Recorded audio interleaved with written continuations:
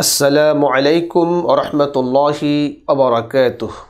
نحمده ونصلي على رسوله الكريم. بسم الله الرحمن الرحيم.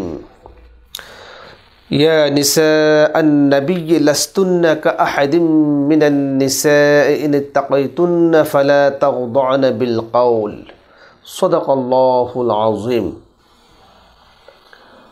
দূরের কাছের অগণিত শ্রোতা বন্ধুদের আন্তরিক প্রীতি আর শুভেচ্ছা জানিয়ে শুরু করছি সাইমা সুপার শপের সৌজন্যে চ্যানেল কর্ণফুলির পর্দায় সাপ্তাহিক ধর্মীয় অনুষ্ঠান জুমার খুতবা।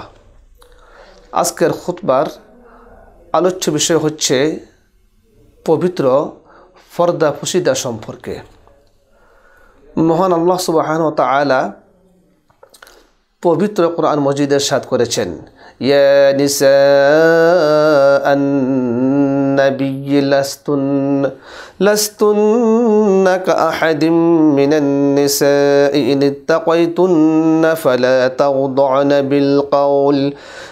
فيطمع الذي في قلبه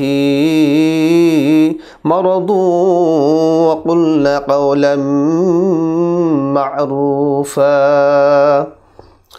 অর্থাৎ হে নবী পত্নীগণ তোমরা অন্য নারীদের মতো নও যদি তোমরা আল্লাহকে ভয় করো তবে পরপুরুষের সাথে কোমল ও আকর্ষণীয় ভঙ্গিতে কথা বলো না। ফলে সেই ব্যক্তি কুবাসনা করে, যার অন্তরে ব্যাধি রয়েছে। তোমরা সঙ্গত কথাবার্তা বলবে। সুরা আহজাব, আয়াত বত্রিশ। অন্য আয়াতে ফর্দা সম্পর্কে আল্লাহ সুবাহন তালা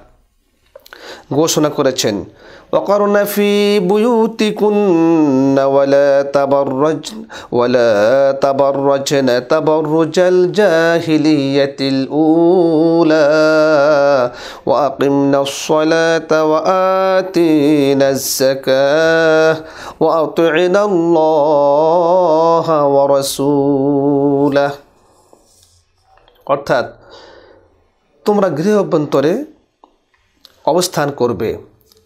মূর্খতা যুগের অনুরূপ নিজেদেরকে প্রদর্শন করবে না। নামাজ কায়েম করবে জাকাত প্রদান করবে এবং আল্লাহ ও তার রাসুলের আনুগত্য করবে। হে নবী পরিবারের সদস্যবর্গ, আল্লাহ তালা কেবল চান তোমাদের থেকে অপবিত্রতা দূর করতে এবং তোমাদেরকে পূর্ণরূপে পুত পবিত্র রাখতে। সুরা আহজাব, আয়াত তেত্রিশ। অন্যদিকে হাদিস শরীফ এসছে, একদিন উম্মে সালিমা এবং মাইমুনা, হুজুর পাকনুর সাল্লাহ ওয়াসাল্লাম এর দুই বিবি রাসুল্লাহ সাল্লাহ সাল্লামের নিকট উপস্থিত ছিলেন। এমন সময় আবদুল্লাহ বিন উম্মে মাহতুম অন্ধ সাহাবি এসে উপস্থিত হলেন। ইহাতে হুজুর সাল্লা সাল্লাম দুই বিবিকে বললেন, পর্দার অন্তরালে চলে যাও। উম্মে সালিমা বললেন, আমি তখন বলিলাম, ইয়া রাসুল আল্লাহ সাল্লাহ আলহি ওয়াসাল্লাম, আবদুল্লাহ কি অন্ধ নয়? আমাদের ফর্দার আড়ালে যাওয়ার প্রয়োজন কি? সে তো আমাদেরকে দেখতে পায় না। রাসুল করিম সাল্লা সাল্লাম বললেন, তোমরা তোমরা তো অন্ধ নও। রাসুল সাল্লাম বললেন, তোমরা আর অন্ধ নও, আল্লাহ একবার তোমরা তাকে দেখতে পাবে না? রহতিমিদ শরীফ। অর্থাৎ নবী সাল্লাম বলেছেন যে, আবদুল্লাহ এবনে উম্মে মাহতুম সে তো অন্ধ সাহাবি। সে তোমাদেরকে দেখতে পায় না, দেখ, সে তোমাদেরকে দেখবে না, কিন্তু তোমরা তাকে দেখবে। এই জন্য পর্দার কথা সেখানে বলা হয়েছে।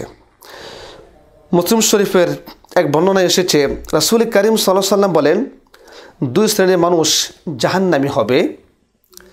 আমি তাহাদিওকে দেখি নাই, এক শ্রেণি জাহান্নামি। উহাদের হাতে গরুর লেজের মতো লাঠি থাকবে। তারা উহা দ্বারা মানবগণকে প্রহার করবে। অর্থাৎ অত্যাচারী। আরেক শ্রেণির জাহান্নামী ওই সকল স্ত্রী লোক যারা কাপড় পরিধান করা সত্ত্বেও অর্ধ পরিধান বা পাতলা বস্ত্রের কারণে উলঙ্ঘিনী অর্থাৎ পরপুরুষকে নিজেদের দিকে আকৃষ্টকারিনী ওরা। নিজেরাও অপর পুরুষের দিকে আসক্তি তাদের মাথাগুলি খোরাসানি ওঠের মতো কেশময়। এরা বিহিস্তে প্রবেশ করতে পারবে না। বরং বিহিস্তের সুগ্রাণও তারা পাবে না।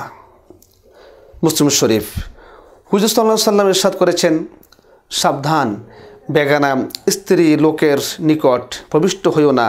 এই কথা এই কথা শুনে একজন আনসার জিজ্ঞাসা করলেন যে দেবর সম্পর্কে আপনাদের কি অভিমত নবীজি সাল্লাহ সাল্লাম উত্তর করলেন দেবর ইত্যাদি তারা হলো মৃত্যু সমতুল্য ঘোষণা হচ্ছে ওয়ানহু আলহি সালাতাম ইয়াকুম ওয়ালা খুল আলা নিসাই ফকল রাজুলুন ইয়া রসুল আল্লাহ আর আইতাল হামওয়াল قال الحموال মাউত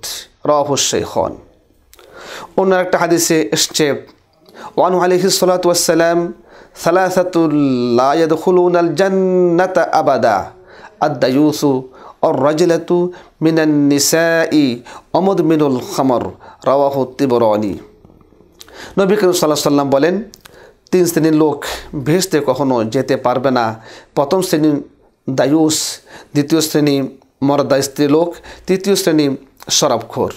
রাসুল্লাহ সাল্লাহ সাল্লাম এর নারী।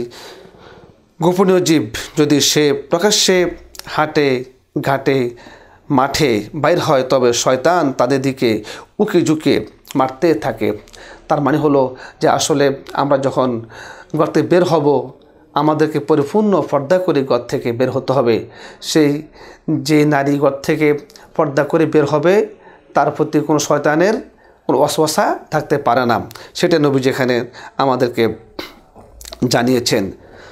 শ্রোতা বন্ধুরা, যে আসলে ফর্দা ফরজ, এটা কেমন ফরজ? ফরজ তো দুই ধরনের, একটা হলো ফরজে আইন, আর একটা হচ্ছে ফরজে কেফায়া। ফরজে কেফায়া হচ্ছে, সেটা আসলে পরিবারে যদি একজন পালন করে, সবার পক্ষ থেকে সে দায়িত্ব আদায় হয়ে যাবে। অথবা যদি সমাজের কেউ আদায় করে, সবার পক্ষ থেকে সেটা দায়িত্ব আদায় হবে। কিন্তু ফরজে আইন যেটা, সেটা অবশ্যই প্রতিটি ব্যক্তিকে পালনীয়। প্রতিটি ব্যক্তি ফরজে আইন পালন করতে হবে, যেমন নামাজ। প্রতিটি ব্যক্তিকে পড়তে হচ্ছে, ব্যক্তিকে নামাজ আদায় করতে হবে। অন্য কেউ পড়ে দিলে সেটা হবে না। অনুরূপভাবে পর্দা হলো ফরজা আইন, ফর্দা ফরজে কেফায়া নয়, ফর্দা প্রতিটি ব্যক্তি, নারী পুরুষ উভয়কে এই পর্যা আইন অবশ্যই পালনীয় অতীব জরুরি কারণ পর্দার কারণে অনেক ক্ষেত্রে আসলে নানান ধরনের সমস্যার সৃষ্টি হয় সমাজে, পারিবারিকভাবে, সমাজে, রাষ্ট্রে। তাই জন্য আসলে আমাদের উচিত আমরা আল্লাহ পাকের কোরআনের কথা, রাসুলের হাদিসের কথা, ব্যক্তি, পরিবার, জীবনে সর্ব অবস্থায় আসলে আমরা ফর্দা যে ফরজা আইন, এটা পালন করার আমরা চেষ্টা করব।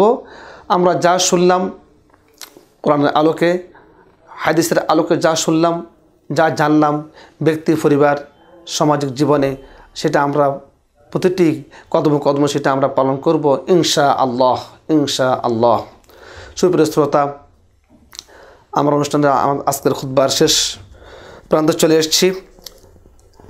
আগামী জুমার খুদ্বার অনুষ্ঠান দেখার জন্য আমন্ত্রণ জানিয়ে আমরা আজকের মতো এখানে শেষ করছি। পৃথিবীর মানুষ যে যেখানে থাকেন না কেন সুস্থ থাকুন, ভালো থাকুন। সেই সাথে যেখানে বসে আমরা কথা বলছি, চ্যানেল কর্ণফুলি পরিবারের জন্য আমরা দোয়া করছি। অনেক কষ্ট করে এই যে একটি প্রোগ্রামকে সাজিয়ে গুছিয়ে জনগণ দ্বারে দ্বারে পৌঁছাবার চেষ্টা করছেন। আল্লাহ তালা এই খেদমটুকু কবুল করুন বলে আমিন। আল্লাহ আমাদেরকে সুস্থ রাখুন। এই বলে আজকে শেষ করছি। আল্লাহ হাফেজ। আসসালামু আলাইকুম ওরহমতুল্লাহি ওবরাকাতুহ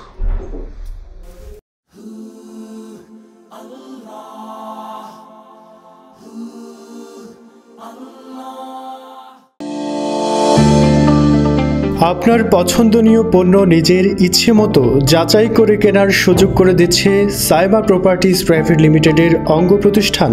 আধুনিক সুযোগ সুবিধা সম্বলিত সাইমা সুপার শপ। নিত্য প্রয়োজনীয় সকল পণ্যই একই ছাদের নিচে পেতে আজই চলে আসুন সাইমা সুপার শপে। সাইমা সুপার শপ, সাশ্রয়ী মূল্যে সর্বোত্তম পণ্য।